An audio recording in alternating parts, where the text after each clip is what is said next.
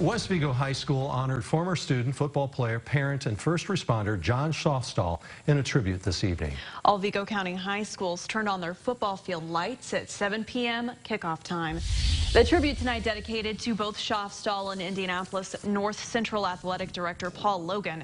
Both men lost their battles to COVID-19 over the weekend. Terre Haute firefighter for 11 years, Schaafstall was a West Vigo graduate, also playing football for the Vikings. He was also involved in local youth football. He loved everybody. Um, you know, he, he's a great father, great husband. Uh, he did anything and everything for this community, um, and, and, not just for West Vigo, but also for Terre Haute as a fireman. So, uh, you know, he's just a, he's always been a servant, uh, and that's kind of the way I always think about John Schaafstall.